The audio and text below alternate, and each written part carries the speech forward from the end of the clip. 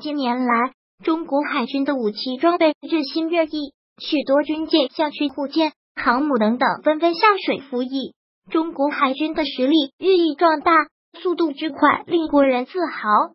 不过，中国海军有了幸福的烦恼：老旧的军舰如何处置呢？这些老旧军舰并非无法使用，稍微维护一下就能使用。如果把它们用在正确的地方，才能发挥它们的价值。有媒体报道，中国准备将一艘护卫舰送给斯里兰卡海军。斯里兰卡笑得合不拢嘴，纷纷竖大拇指夸赞中国人真大方，比印度靠谱。为啥斯里兰卡有人那么高兴呢？我们来看一下中国送给斯里兰卡的护卫舰就知道了。斯里兰卡海军十分依赖进口印度的军舰，不过这些军舰都是印度淘汰的二手货，实在太难用了。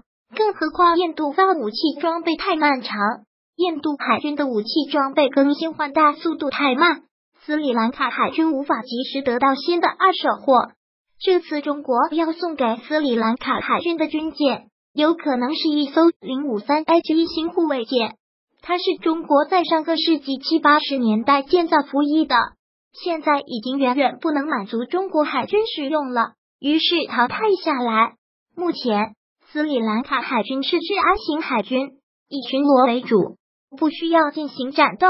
中国送的零五三 H 一型护卫舰。可谓是斯里兰卡海军祖坟冒青烟了，它是斯里兰卡海军有史以来最先进的军舰了，难怪斯里兰卡海军那么高兴，没花一分钱就得到了优秀的军舰。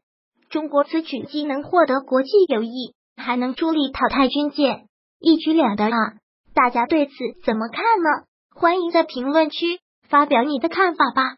如果喜欢本视频，请分享并订阅本频道，别忘了按赞哦！